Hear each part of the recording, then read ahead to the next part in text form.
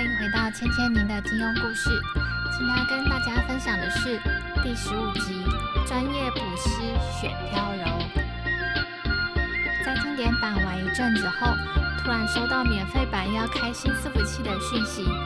距离免费版上一次要开新服，好像是很多年前了，所以许多人互相约了要一起跳到免费版玩。之前跟如来挂个几天的那次不算的话。这次认真的玩免费版。上集提到的 F 四，他们四个里面只有虚幻打算跳免费版，而且一开服就已经冲好角色，冲到排行榜前几名了。那就是神雕伺服器后来鼎鼎大名的峨眉第一天马行空。而我是比较晚才决定过去的。天马在知道我要过去以后，给了我许多物资让我练等。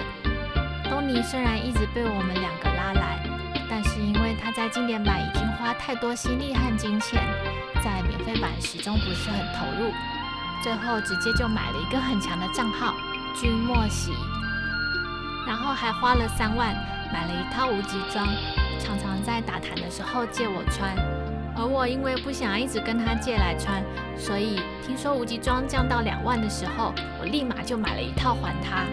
这还是我玩金庸以来第一次直接花这么大笔的金额来买装备，因为免费版最困扰我的就是二三阶技能，我永远都搞不懂，也不想搞懂，所以直接花钱买最快又不花心力。而云之舞同样也被我们拉来，他也买了一只角色叫柳橙汁，虽然跟他本来的名字形象差很多，但是叫柳橙汁也挺有趣的。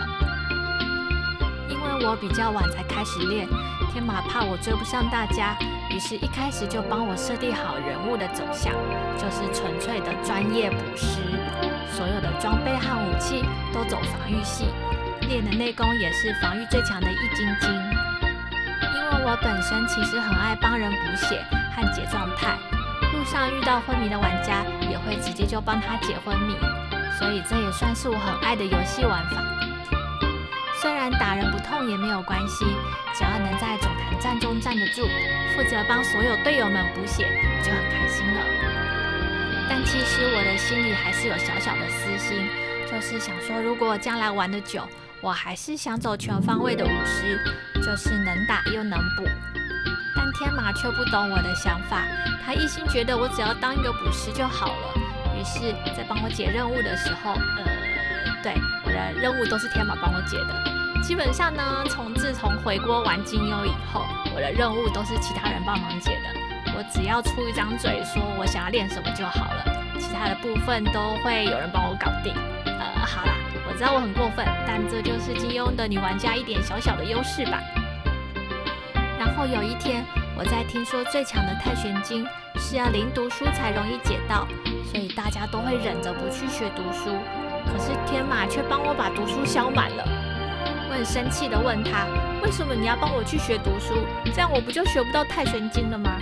他说：“你不是要当捕师吗？学易筋经当然可以学读书啊！”我听完以后就更生气，觉得他小看我。为什么我就永远就只能当捕师？然后他问我：“你也想解太玄经吗？”我说：“当然啊！为什么你们可以学，我就不能学？”然后我就气到不想跟他说话。可怜的天马。他为了补偿我，就答应我一定会帮我学到太玄经。